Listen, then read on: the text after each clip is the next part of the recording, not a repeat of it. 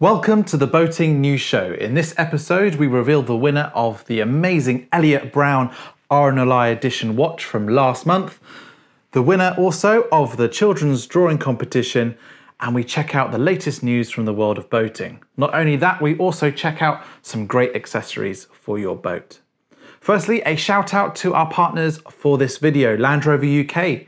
When it comes to towing, you can't go wrong with the latest generation Defender and Discovery. These machines are towing beasts and are PBR's choice vehicle for our boating transport and on the road requirements. So let's get this month's boating news show underway and get going.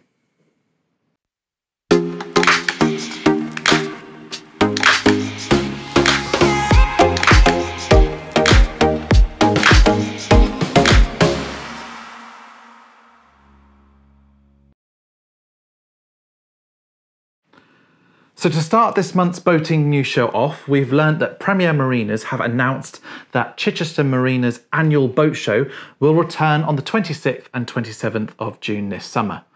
Exhibitors will include Ancasta International Boat Sales, BlackRock Yachting, Boat Shop, and RBS Marine.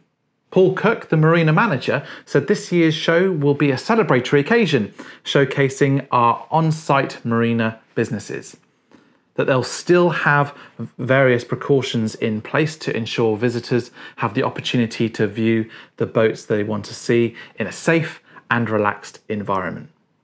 In conjunction with the disposal expert Ramora UK, Premier Marinas will also be holding two flare disposal days on the 13th and 26th of June. This is a chance for boat owners to bring along uh, of out of date flares and have them checked and disposed of safely, which can be a real pain. So, this is a really useful thing that they're putting on. Moving on to an awesome machine, I want to highlight a wicked new boat. If you like performance craft, maybe something with a racing hull, then you're sure to fall in love with Iron boats. Iron are designed in partnership with Ocke Mannerfelt, the world famous naval architect.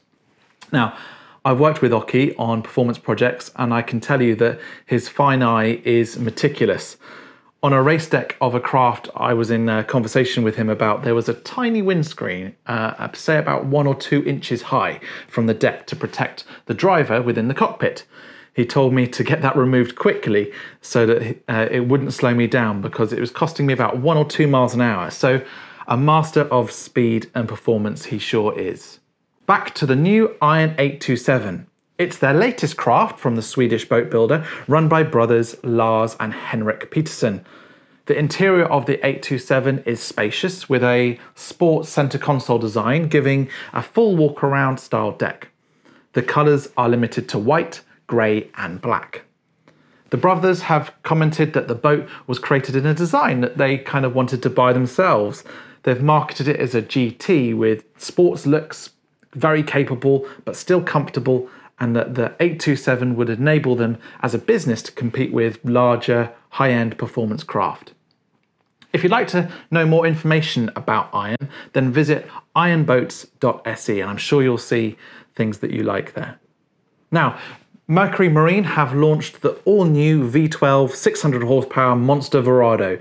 It broke the internet a couple of weeks ago, so you may have already seen it. But when launched, this engine is important as it redefines outboard performance. This engine represents also the most powerful and capable outboard from Mercury to date. Not only this, but the technology includes several industry first features, and those that are now missing maybe Seven Marine after the Volvo Penta uh, purchase change direction uh, with their business model. Uh, there's now a new, a big outboard to drool over. So let's take a look at a couple of the features in a little bit more detail. First off, it's the world's first V12 outboard. The 600 horsepower Verado engine features a naturally aspirated, large displacement quad cam powerhead that generates impressive torque to get heavy boats out of the hole and onto the plane quickly, and to accelerate up to decent speeds as fast as possible. Secondly, this mega powerhouse features an industry first steerable gear case, which pivots independently underwater while the engine's powerhead remains in a space saving fixed position, although it does take some getting used to to look at the stern and see uh, the boat banking over and the engines uh, in a central position. Well, this provides more room for multi engine configurations and a wider steering angle for agile handling. With help of uh, counter rotating props, it also has a better bite in the water for docking and uh, other close quarter manoeuvring. Several enhanced Mercury technologies in the engine's ECU and computers that run the mechanical components uh, work in conjunction to enable the V12 outboard to deliver also good fuel economy and range for its size. It's clear that Brunswick Group, that own Mercury, are investing in new technology and are making a real effort to push advancements forward. This is clear by the fact that Mercury have invested 1.5 billion in R&D and expansion since 2008. Now, we've been invited to test the engines in Europe as soon as possible, and we're really excited to get behind the throttles and uh, really test this machine. And you can be sure that I'm going to be bringing the camera along for the ride. For me personally, I can't wait to see what Mercury Racing's division has in store once they've breathed over the Leisure Sisters uh, technology. Up next, we want to showcase a very cool new product. Over the last few years, with the advancement in electronic propulsion, you may have seen electric surfboards, slash sort of uh, wakeboards on social media, and they look pretty cool. However, Australian brand Fliteboard take things to a whole new level. They build electric hydrofoils, and they're pretty awesome. An electric powered hydrofoil promises to give you the sensation of flying over the water, and Fliteboard uh, gives riders the freedom to ride anywhere without wind or waves. The boards being electric are emission free, they're pretty silent as well, and wake free. The new boards are made of premium materials and hover approximately about 70 centimeters above the water with their speed controlled by a handheld Bluetooth remote. The marine battery gives you also a pretty good battery time of around about 90 minutes running. The Series 2 of these boards offer improved performance across the range, from beginner friendliness and stability to a more advanced machine that gives great performance for that more agile thrill seeker. I've got a board coming in a few weeks to test, and we'll be taking her out across summer on some of our adventures. We'll film putting it through its paces and uh, see if I fall flat on my face or actually get up and enjoy the thing. For more information, please visit fliteboard.com.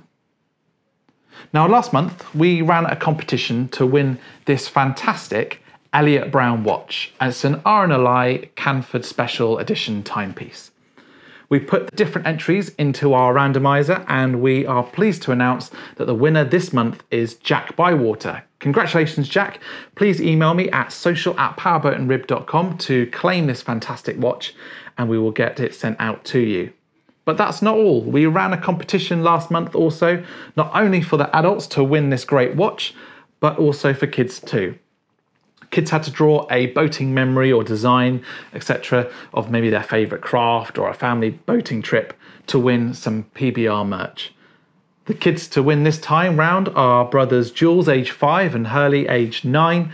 Well done, boys. Your pictures of boating with dolphins and fishing with your dad were awesome. You're the lucky winners, and we will be in contact to organise some cool kids' boating gear that fit you. Next up on this month's boating news show, we're going to take a look at a cool brand called Railblaza. Now, Railblaza began its life as a mounting system for holding things to the back of a quad bike. Once the initial concept was developed, it was realised that the system had merits in the marine industry, and they've really taken off now, being sold in over 50 countries. So, what are the components around the brand? Well, mainly it's based around this starport which can be surface mounted and has quite a low profile. Mounting to the starport are a range of accessories that mount to the base, such as this rod holder. And they have a different range of uh, options as well, as you can kind of see in this brochure here, there's, there's lots and lots of different things. From a clamp style mounting to USB powered flush mounted units. Then simply choose your accessory you want from maybe a fish rod holder, an iPad holder, a GoPro, boom pole. To showcase these a little bit better, we're going to head over to Portsmouth, where Will Parkinson of Smart Fishing UK, a professional fisherman sponsored by SMG, the UK dealer for Railblaza, goes through how they use the product on board their boat. He's also joined by Peter Dudman, the European distributor. Hello, I'm Will from Smart Fishing UK, and you join us down here on a glorious day with Peter. We've brought you down um, to showcase some of the Railblaza products that we have on Smartfish, um, which, as you know, um, has some other um, products that SMG do. But we're going to go over some of the products that the uh, that the Smartfish has got on board. Thanks, Peter. So here we are. We've got some of your new brand products on here. Can you just talk through some of what you've got, and then afterwards we can go on board and have a look? I mean, specifically, um, I want to show you today the new products which we've just launched uh, into the UK. Um, that is the uh, gunnel tracks for, um, for medium-sized, small medium-sized boats, and also the uh, tackle caddy, which uh, by its name is like a storage system, and also the track loader starports, which we'll demonstrate to you when we get on board the boat. But there's the products that we want to feature. Super. Okay, let's jump on board and uh, have a look. Okay, so we're, now down on the boat, um, and Peter's kindly going to go over some of the new products that we've uh, that we're going to showcase. Okay, before um, I mention the new products, I think we should just uh, have a quick run round Smartfish in terms of what standard products we currently have on the boat. So we uh, we have the standard starport, which is where um, Railblaza really started in terms of its its its formation. That's the standard star port. You've got the side port, which is um, for mounting onto vertical surfaces or horizontal surfaces. Then you've got the standard rail mount, um, which is uh, for 19 to 24 uh, diameter rails. Um, also, we have the larger rail mount for the big tubes, um, which um, is a new addition to Smartfish. We've, we've just done this because we felt that Will wanted a bit more versatility in the boat. Um, and then we look at uh, the new products. Now, the new products, as I mentioned, um, are in essence the, the gunnel tracks, which you can see mounted onto the side coaming here. Uh, very new product. This is the first boat, as far as I'm aware, in Europe with these tracks fitted. Um, they've been introduced really as a result of our um, product investigations, primarily in the USA, on, on aluminium boats, but this is an ideal track system for small boats like Smartfish and other boats of, of, of a similar ilk. And to go along with that, we have introduced what we call the track loaders, which come in two types. You have the side side port, uh, sorry, starport um, track loader, uh, which is a standard starport but mounted so it can move up and down on the tracks like this into any position you want. Then you have the side port which is this model again. You can just position it any way you like on, on, on the boat, on the track. The other and most important new product is the tackle caddy, uh, which you can see mounted here on the track or other track. So it allows you to, it allows the fisherman to keep everything he needs in, this, in, a, in a very convenient place, whether it be lures, whether it be his mobile phone, whether it be whatever. I mean, it, it, it's a storage system which uh, well, one thing we've noticed, Peter, with this, and it's really good, it comes in the kit with um, with, with, some bungee. So not only when you put your, uh, I don't know if you can see this one, uh, but we'll showcase that in a minute. Um, if you put your products in it, you can also bungee them in. So when you're bouncing across the waves, heading out to that spot, um, you, your kit, your cup, your scissors, they just don't fall out. So that's a really nice little addition that that there to them, Peter. The other thing I should mention uh, uh, uh we put on Smartfish is the electrical sockets for your USB uh, connection to your fish finder or to whatever. Um, an important part of, of any boat like this is to have electrical contact. So, and, and I'll just add a little bit if you're happy with that. Peter. Yeah, sure. We um, with with, with the uh, USB um, starports, we get really good versatility out of that because we use that for when we're doing a lot of filming. We can have our cameras constantly powered, so you can just have a seamless yeah. seamless field yeah. uh, film. So anyone that or any of the consumers that potentially want to purchase that, it's a great way of selling it to them to say, absolutely, you can keep your cameras powered up, um, or lights. Lights are another. Sure. Yeah. I think I think what we're trying to demonstrate is that the product itself, Railblaza itself, is is is a, a multi-function but versatile system, and and you know it, it's, it can be all things to all people, but it's so versatile, uh, and it, there's there's an application on any boat for a Railblaza piece of product. Yeah, it doesn't necessarily need to be fishing.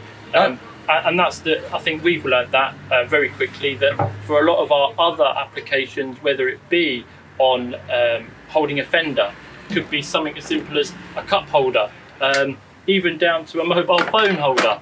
You can literally plug anything in, and we've learned that quite quickly that you can use it not just for fishing and having the rod holders and bits and bobs on there. Yeah. But yeah, great product. Thank you, Will and Peter, for taking us through the products, which clearly are uh, a very useful bit of kit. And you can get these in the UK by SMG, a link I'll post in the description below. However, if you like the product, you're in luck as it's this month's prize. So, to get yourself a starport and a fish rod holder, and not only that, also this bag, which is quite a handy bag, which they call a carry, wash, and storage bag. All you need to do is like, comment, and subscribe to this video. We think it's a great accessory to anyone's boat. In fact, we like them so much that we're actually going to try them out on our Axopar. So, good luck to entering. Share with your friends and hit that notification bell so you don't miss our announcements on the winners. That's it for now. Thank you for all of your support on our channel. We have a very busy month ahead as we get out on to filming the Beyond the Horizon and resume our boat tests as well.